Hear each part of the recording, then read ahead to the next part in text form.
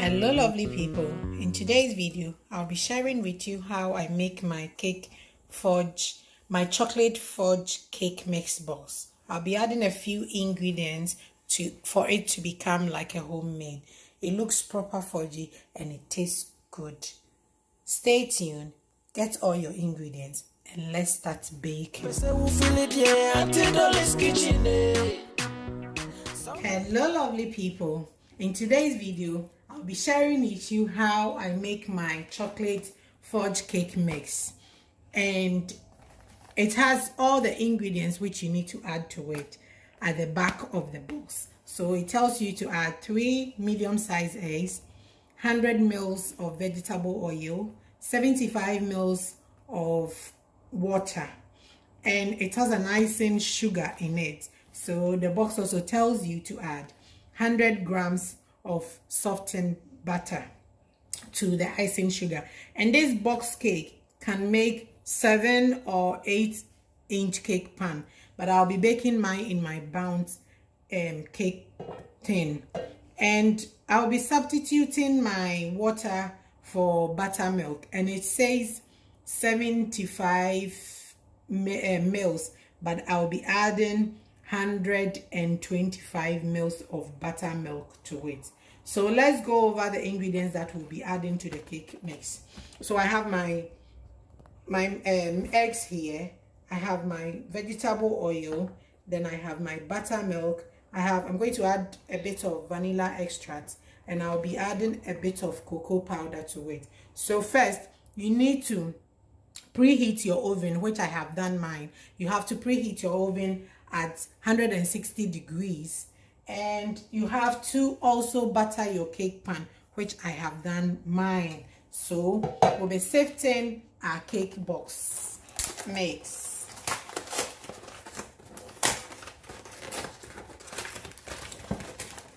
In most of my videos which I have done a cake box I have so I have added four eggs but today I'll be trying the um, three eggs to see how fudgy and soft the cake box looks like.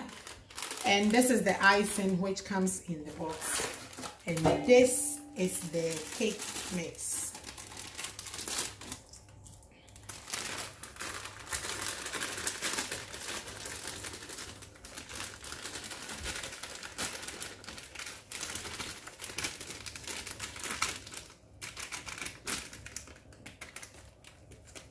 Okay so first that's what I'll do.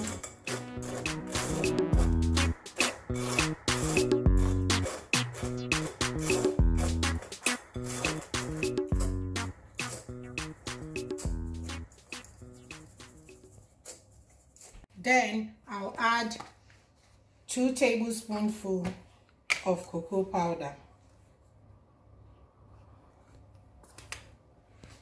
I want my chocolate cake to be more chocolate, uh, chocolatey.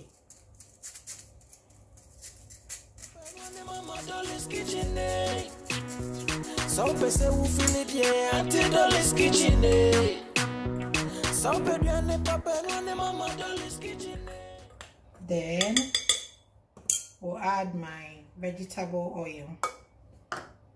We'll add my buttercream. Then we'll add my three eggs. And then we'll add my vanilla extract if you want more sweet in it you can add one tablespoon of sugar to it. If you have a hand mixer you can use your hand mixer. If you don't have a hand mixer you can use your whisk or your rubber ladle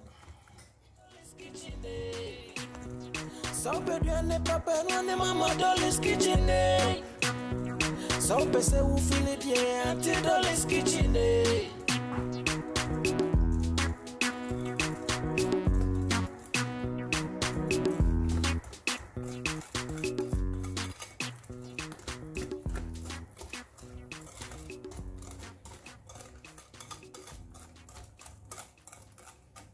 Okay, it's ready to go in my pan.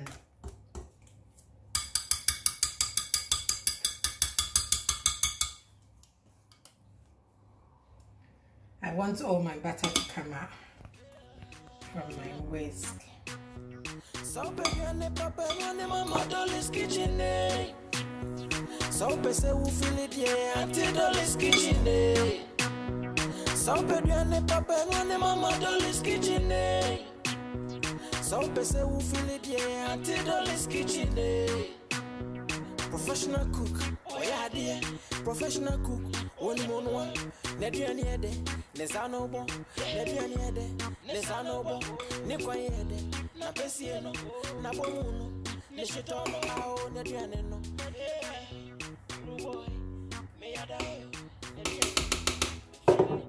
Then I'm going to hit it on my work working surface to release all the bubbles in it.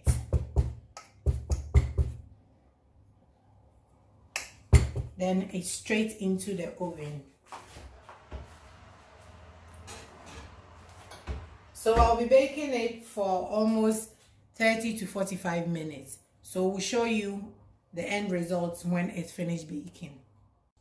Alright guys, so after 40 minutes our cake is ready and then it's coming out from the oven.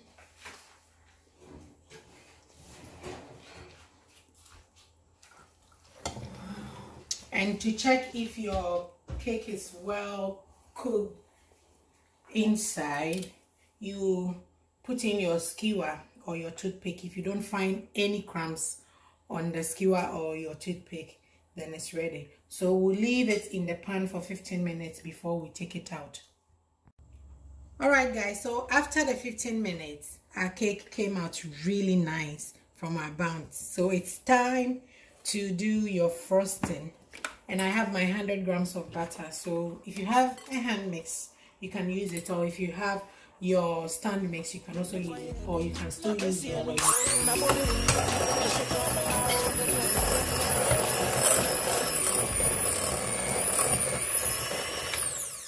So you beat your butter for five minutes.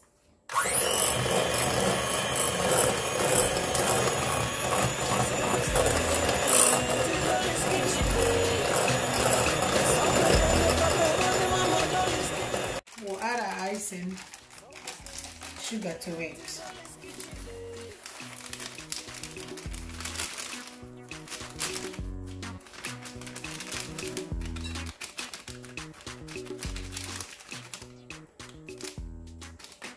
We'll add a bit of milk.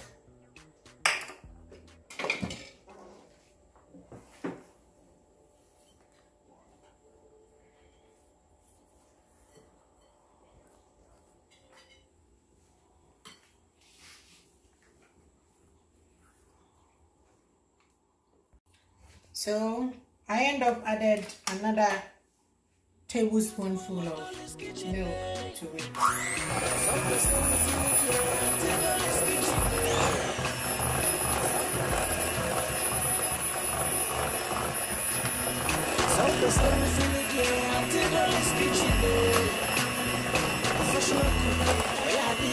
Professional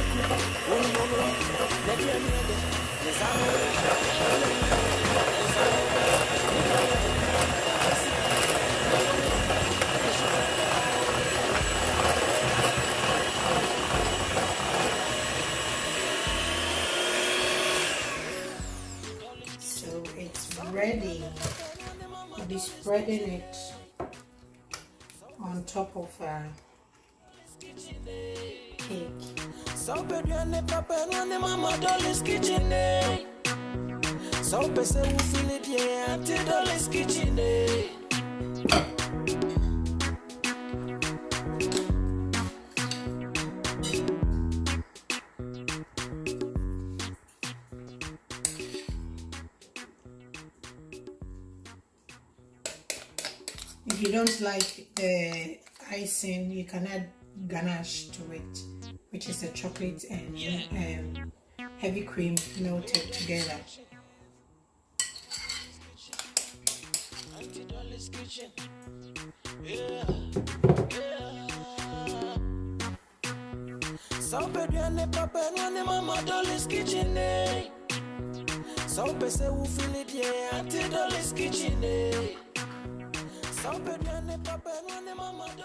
So, after spreading your chocolate um, icing on your cake, it's looking delicious already. We'll try it. The cake is proper fudgy, proper soft, and